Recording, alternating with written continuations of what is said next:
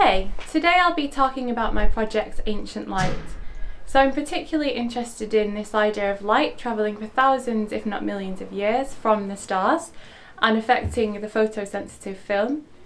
Um, I'm particularly interested in materiality and the idea of thinking about the materiality of starlight.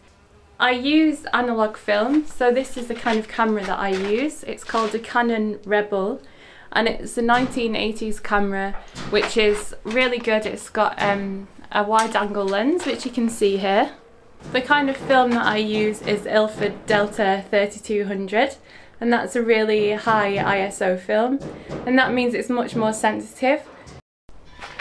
Okay, so you can see here that I've set my lens to infinity, so it's focused to infinity and it's on the biggest aperture which is 2.8 and that means that you get a lot of light coming in and it means that you don't have to spend ages focusing and um, trying to find the right focus because it just focuses to infinity. Um, and that's what I consistently use across all cameras. So if you have a medium format or a large format or a 35 millimeter if you think about focusing to infinity that's the most important part. Okay I've shown you how to set up your camera so now it's time to go and shoot some photos hey so now it's night time and we're going to be taking some pictures by starlight. So it's just before the moon is rising and I can see um, some stars and I can actually see a satellite right now. So what I'm going to do is I'm going to set my camera up. I'm using uh, the focus to infinity and I'm using the largest aperture which is 2.8 and that's to let in as much light as possible. So this is really what my PhD is about. It's about this light travelling on this journey for many many years, up to millions of years, and then coming into contact with a piece of film and it's actually ancient light. It's light that is really really super old and we have the capability to work with it and to make prints using it and for me that's something that's really special something that's worth writing about for five years. So today we're going to do really long exposures of anything between 30 seconds to five minutes. 30 seconds is good to remember because any time after that the stars will start to trail in your image. And that is really because of the spin of the earth. Um, you can find out more about that on astrophotography websites, which I'll link below.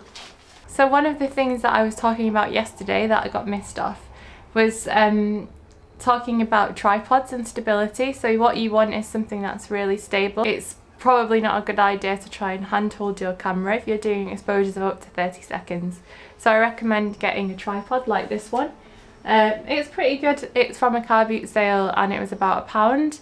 Um, but you can get things like that on eBay. This one's quite lightweight, but actually if you're doing really a lot of astrophotography, I would suggest getting quite a heavy tripod. The stronger and heavier your tripod, the less it's going to move.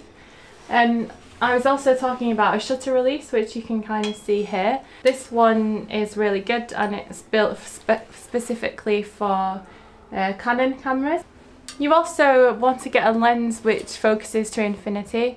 So just a word of advice, if you're developing these yourself, please push them to stops. So push the film two stops means leaving it in the developer for a little bit longer. So at the moment we're all uh, quarantined, so one thing I would like to suggest is that we could collaborate on this project. Um, I used to travel around the UK quite a lot and actually sometimes to different countries like Iceland and Italy taking photographs of the night sky and now that's something that I can't do but I do have a lot of friends and a lot of um, people that I know around the world I thought it would be fantastic if people could take analogue photographs of the night sky from their locations.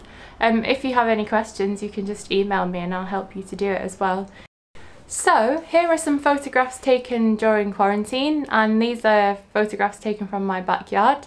And if you haven't already please subscribe and join my Patreon.